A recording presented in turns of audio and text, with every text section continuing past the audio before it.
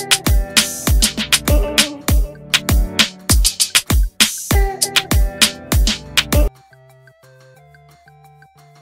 อสอก้าวไกลหลังน้ำตา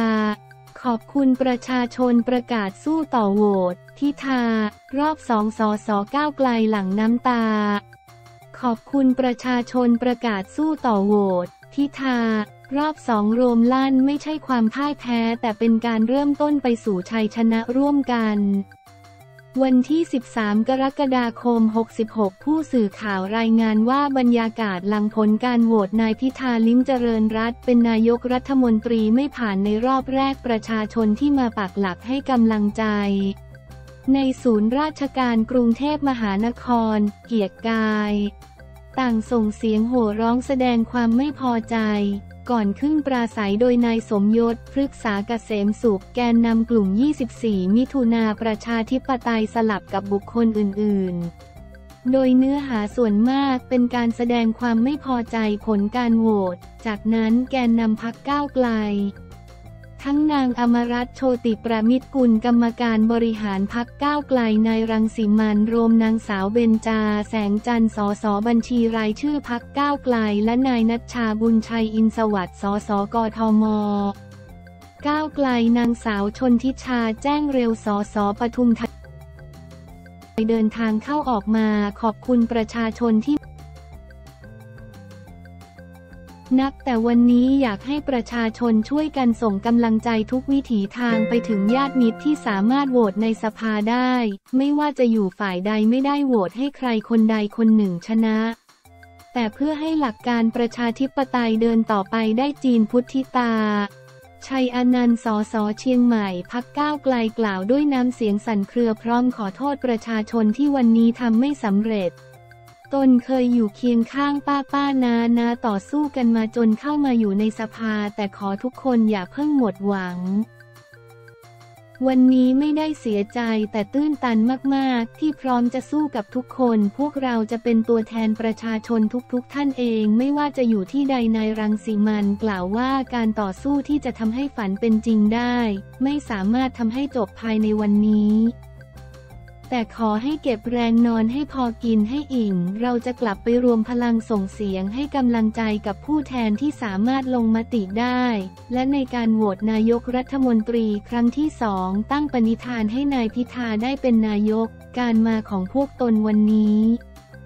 เพื่อบอกกับประชาชนให้กลับบ้านอย่างปลอดภัย ถือว่าพวกตนมาส่งนี่ไม่ใช่การพ่ายแพ้ แต่เป็นการเริ่มต้นไปสู่ชัยชนะร่วมกัน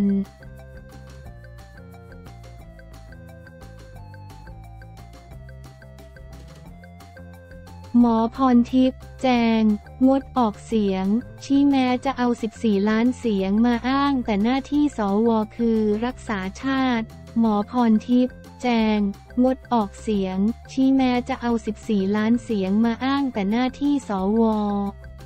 คือรักษาชาติยันปิดสวิตตามหลักการเดิมและปิดตลอดจนกว่าจะหมดวาระวันที่ 13 กรกฎาคม 2566 แพทย์หญิงคุณหญิงพรทิพย์โรจนสุนันโพสต์ข้อความผ่านอินสตาแกรมส่วนตัว เกี่ยวกับประเด็นโหวตเลือกนายกรัฐมนตรี โดยระบุข้อความดังนี้ที่สุดก็ไม่มีคำอธิบายว่าทำไมต้องแก้มาตรา 112 แต่ยิ่งชัดเจนว่า ยืนยันจะแก้ไขแน่นอนที่สำคัญพักต่างๆ ที่ทำข้อตกลงร่วมกันก็ยอมให้พักก้าวไกลเสนอแก้มาตรา 112 ได้การเมืองไทยเป็นเช่นนี้หมอจึงได้คำตอบว่าปิดสวิตตามหลักการเดิม และปิดตลอดไปจนกว่าจะหมดวาระหนึ่ง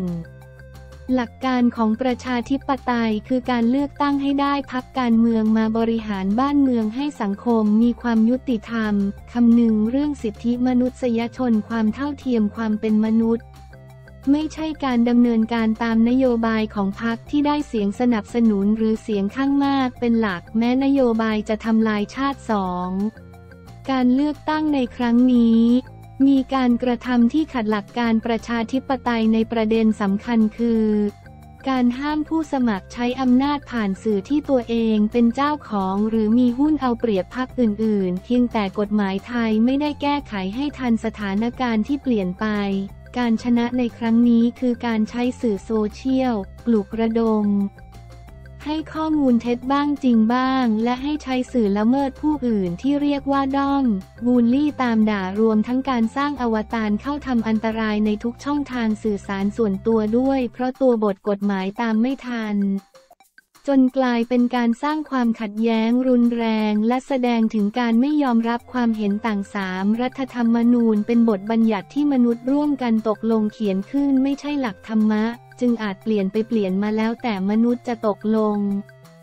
และรัฐธรรมนูญฉบับนี้ก็ได้มาตามคันลองประชาธิปไตยคือผ่านการลงประชามติ การทำหน้าที่ของสวจึงเป็นไปตามบทบาทที่กำหนดสีประเด็นสำคัญที่สว ติดใจคือการขอแก้ไขมาตรา 112 ซึ่งจากการหาเสียงมีแนวทางที่กระทบสถาบันพระมหากษัตริย์ กลุ่มที่สนับสนุนสมาชิกที่ได้รับเลือกตั้งล้วนแสดงกิริยาให้ร้ายต่อสถาบัน มีการสนับสนุนให้หมิ่นประมาทตั้งแต่สถาบันพระมหากษัตริย์ ไปจนถึงประชาชนคนธรรมดาแปลกที่ว่าที่นายก ไม่ตอบไม่อธิบายแต่ตอบว่าต้องรักษาคำพูดทั้งทั้งชี้แจงว่าเขาเป็นผู้นำที่รู้จักรุกและถอย แต่เรื่องนี้ไม่ตอบไม่อธิบายรายละเอียดใด ๆ และไม่ยอมถอยห้าสิ่งสำคัญที่สุดคือหน้าที่ของทุกคนรวมทั้งสวคือหน้าที่รักษาชาติหากอ้างประชาธิปไตยอ้างเสียงสนับสนุน 14 ล้านเสียงว่าต้องรักษาประชาธิปไตยแต่ชาติจะล่มสลายคงไม่สามารถปล่อยได้